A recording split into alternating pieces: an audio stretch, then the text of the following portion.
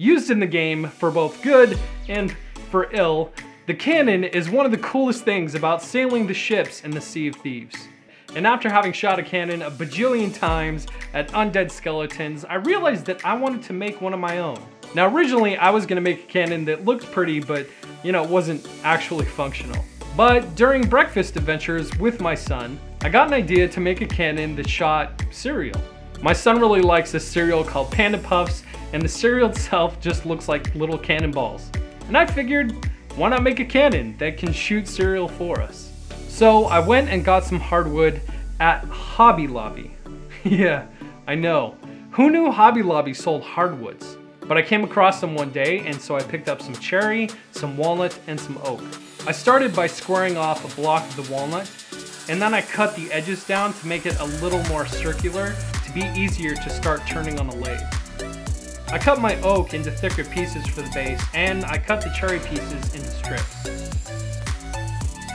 With all the pieces that I needed for this build cut out, I borrowed a neighbor's lathe so that I could start turning the cannon. I have to be completely honest, I am really nervous about using these things.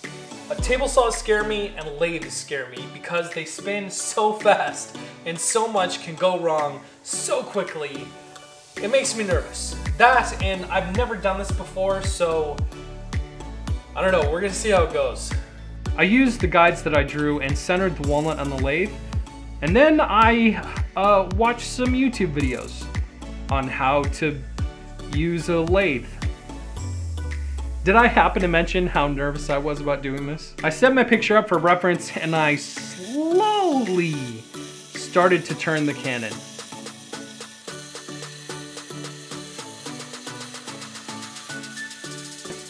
Looking back on it now, I probably could have done this part a little bit faster. I probably could have applied more force when rounding the walnut out because this part ended up taking forever. After it was round, I took out my ruler and I started to mark out the distances for my cuts on the cannon. I then started to shape out each of the sections.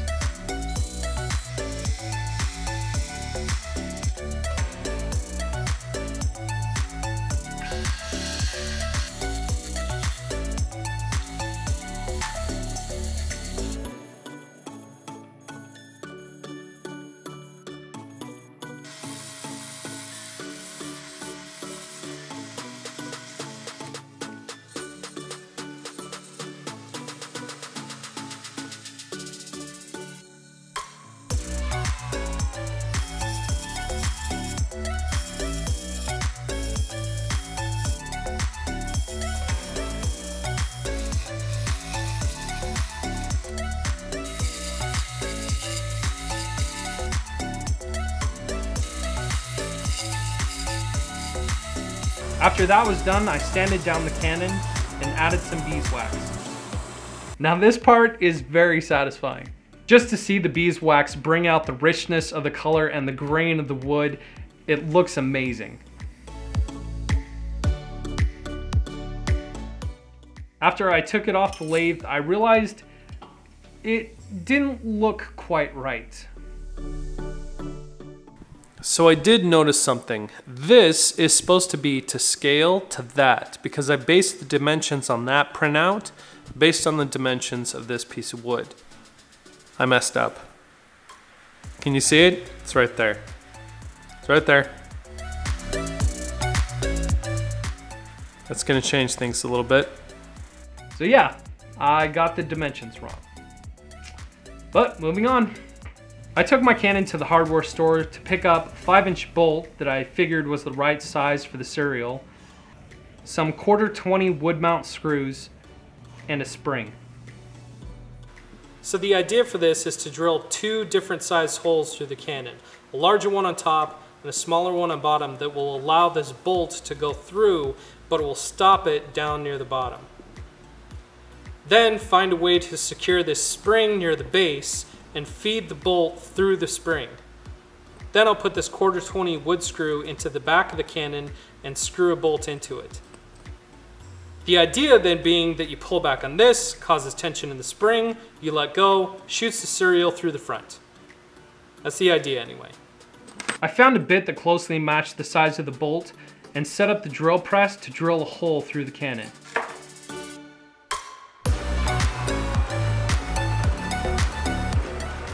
And pause. Do you see it? Do you see what I'm doing wrong? Uh, so I went back and I clamped the cannon down like a smart person would have done in the first place. And I drilled the hole into the cannon. I then flipped it over and drilled a smaller hole through the back just big enough for the threaded part of the bolt. I checked to make sure that the bolt fit right into the cannon part, and it did. I cut the end off the cannon and then took a small piece of the walnut and turned an end cap for the cannon. I drilled a hole and then I fit the quarter 20 wood mount screws into the cap.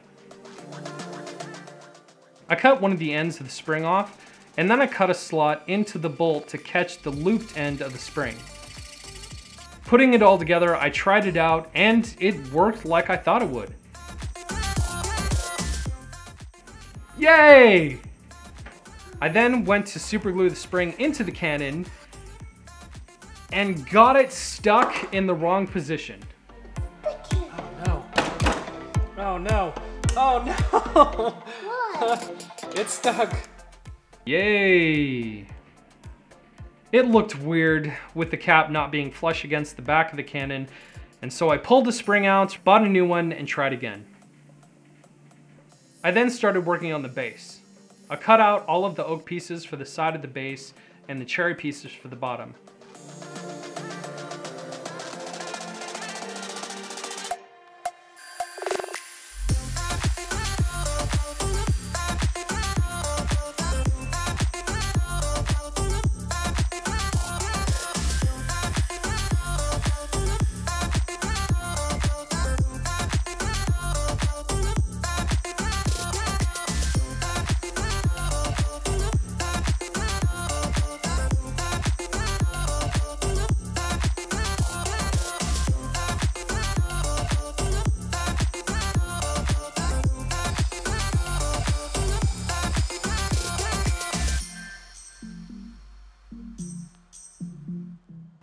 To give it the cut and worn look like it has in the game, I took my knife and etched out the edges to make the pieces of the wood look aged, and then I started gluing the base together.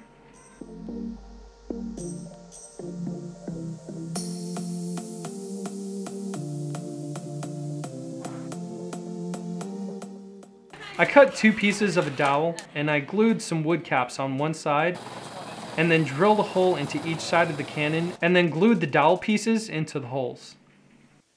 I cut another piece of the dowel to fit on the base for the wheels and then cut two wheels out of some of the scrap of the oak. I drilled holes into the dowel and then got some help hammering the wheels into the dowel. I took my Dremel to distress the pieces further and then started adding pieces of the cherry for the decorative metal pieces of the base.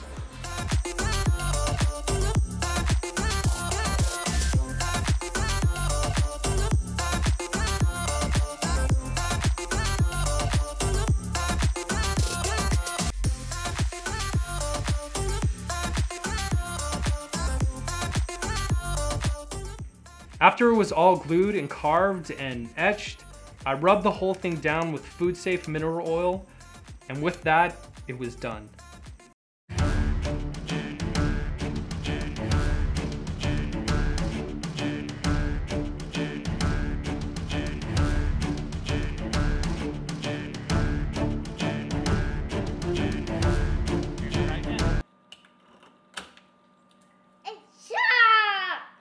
We have had a lot of fun with this project so far, and I hope you liked this video. If you did, give it a thumbs up, and if you haven't already, be sure to subscribe so that you can see all the future projects that I have coming out.